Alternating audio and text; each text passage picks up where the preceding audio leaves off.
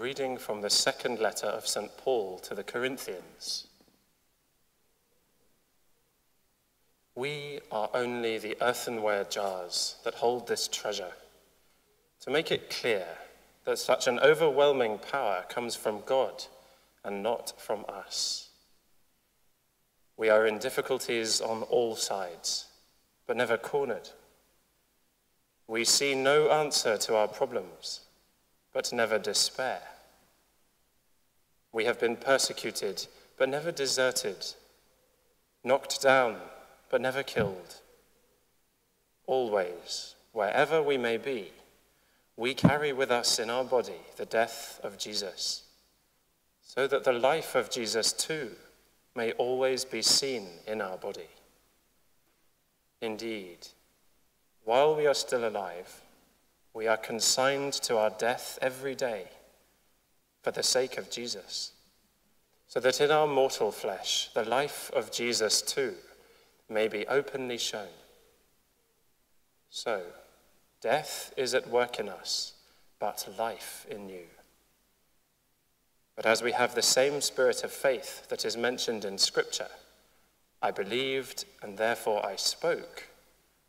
We too believe and therefore we too speak, knowing that he who raised the Lord Jesus to life will raise us with Jesus in our turn and put us by his side and you with us.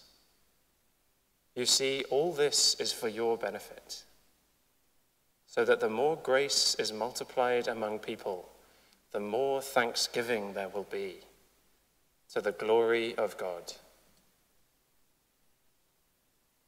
The word of the Lord. Thanks be to God.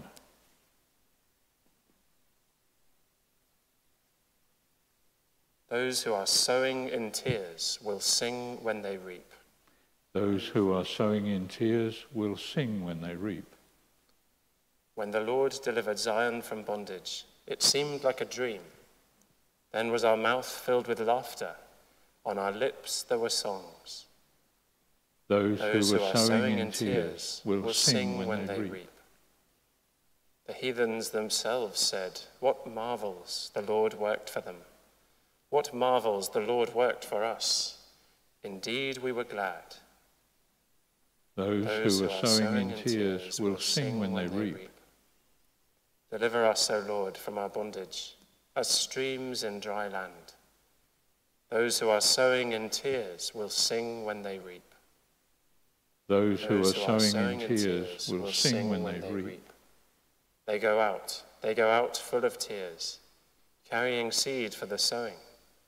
They come back, they come back full of song, carrying their sheaves. Those who are sowing in tears will sing when they reap.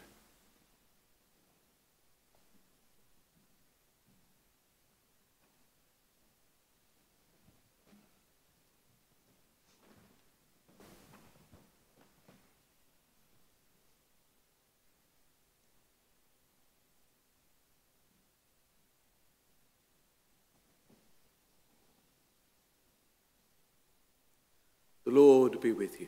And with your spirit. A reading from the Holy Gospel according to Matthew. Glory, Glory to you, O Lord.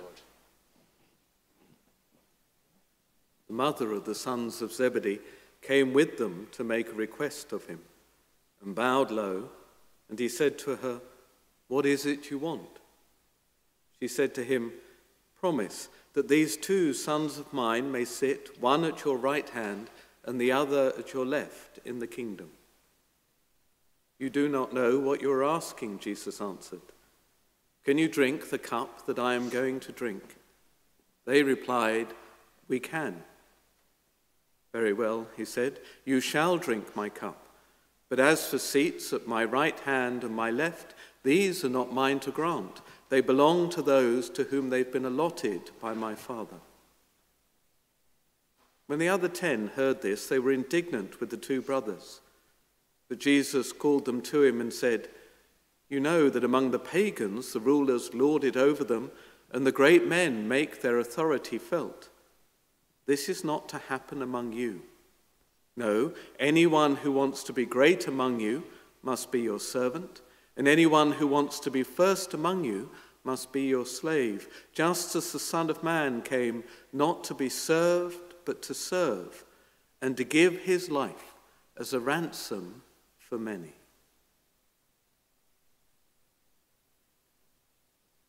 The Gospel of the Lord. Praise, Praise to you, Lord Jesus Christ.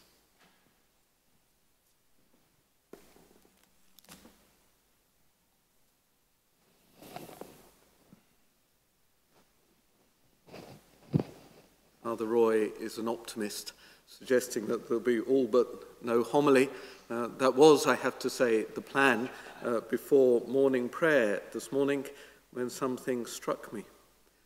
To begin by saying the feast of St. James uh, appealed to us as a good day on which Father Thomas might make his profession of faith, faith handed down from the apostles, though in fact the creed is not usually part of this feast day. But the feast brings with it another element, and we were reminded at morning prayer that the Lord saw James, the son of Zebedee, and John, his brother, and called them both. And that later, Jesus took Peter, James, and John, the brother of James, and led them up a high mountain. And as we've just heard in the Gospel, that the mother of the sons of Zebedee came to Jesus with her sons and he asks them, Can you drink the cup that I'm going to drink? And they replied, We can. It struck me at morning prayer that these are important words. And they replied, We can. The Lord in the Gospel sends out his disciples two by two. He sets the model for both mutual support and for collaborative ministry.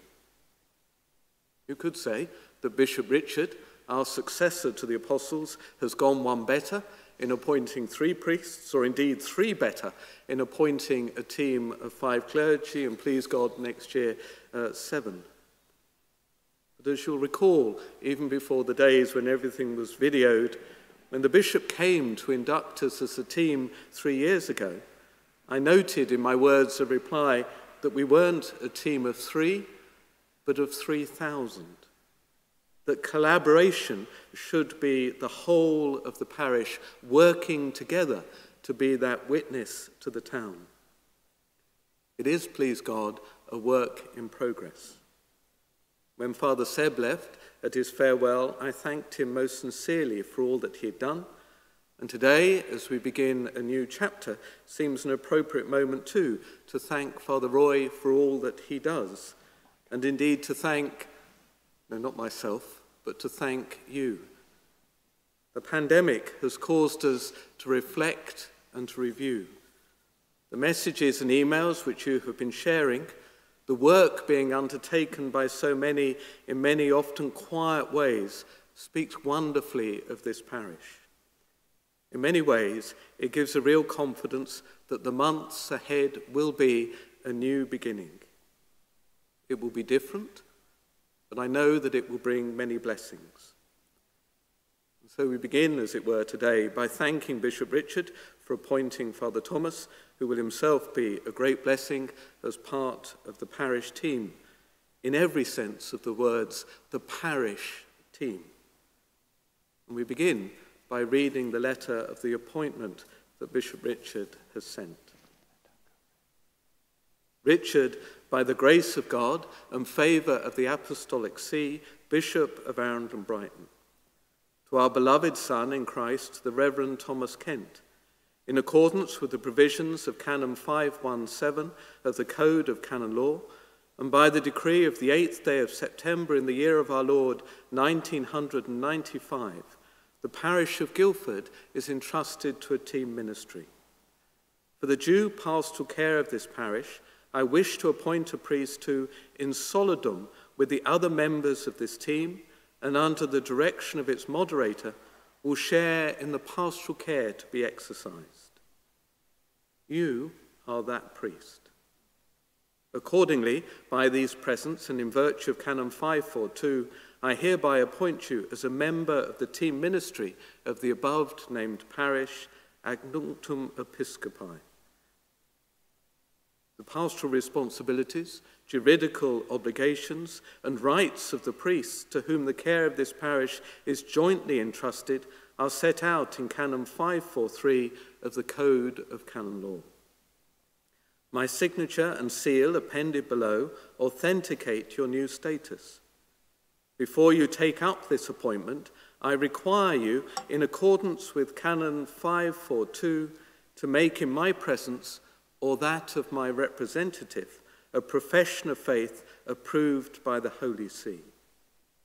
Given at Arundel this 11th day of July in the year of our Lord 2020, Richard, Bishop of Arundel and Brighton.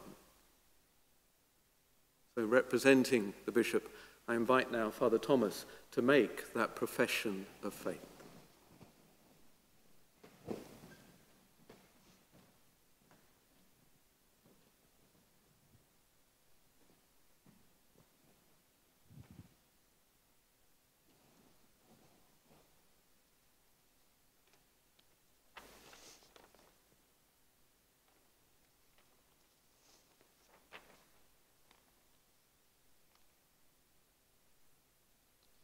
I, Thomas James Kent, with firm faith, believe and profess each and everything that is contained in the symbol of faith.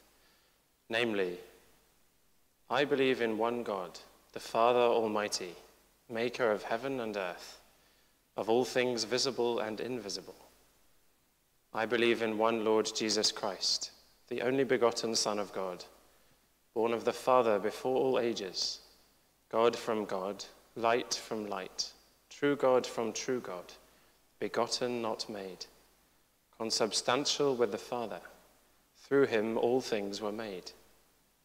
For us men and for our salvation, he came down from heaven, and by the Holy Spirit was incarnate of the Virgin Mary, and became man. For our sake he was crucified under Pontius Pilate. He suffered death and was buried and rose again on the third day in accordance with the Scriptures. He ascended into heaven and is seated at the right hand of the Father.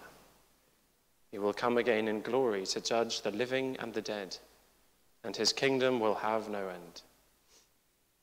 I believe in the Holy Spirit, the Lord, the giver of life, who proceeds from the Father and the Son, who with the Father and the Son is adored and glorified who has spoken through the prophets. I believe in one holy, Catholic, and Apostolic Church. I confess one baptism for the forgiveness of sins, and I look forward to the resurrection of the dead and the life of the world to come. Amen. With firm faith, I also believe everything contained in the Word of God, whether written or handed down in tradition which the Church, either by a solemn judgment or by the ordinary and universal magisterium, sets forth to be believed as divinely revealed. I also firmly accept and hold each and everything definitively proposed by the Church regarding teaching on faith and morals.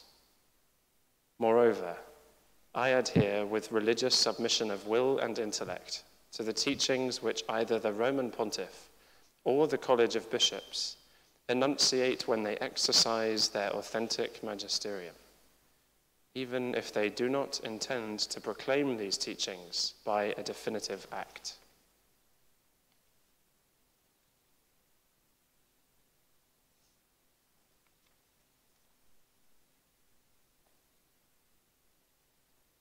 I, Thomas James Kent, in, this, in assuming the office of parish team member, promise that in my words and in my actions, I shall always preserve communion with the Catholic Church. With great care and fidelity, I shall carry out the duties incumbent on me toward the Church, both universal and particular, in which according to the provisions of the law, I have been called to exercise my service. In fulfilling the charge entrusted to me in the name of the church, I shall hold fast to the deposit of faith in its entirety. I shall faithfully hand it on and explain it, and I shall avoid any teachings contrary to it. I shall follow and foster the common discipline of the entire church, and I shall maintain the observance of all ecclesiastical laws, especially those contained in the Code of Canon Law. With Christian obedience, I shall follow what the bishops, as authentic doctors and teachers of the faith, declare, or what they, as those who govern the church, establish. I shall also faithfully assist the diocesan bishop, so that the apostolic activity exercised in the name and by mandate of the church may be carried out in communion with the church. So help me, God, and God's holy gospels on which I place my hand.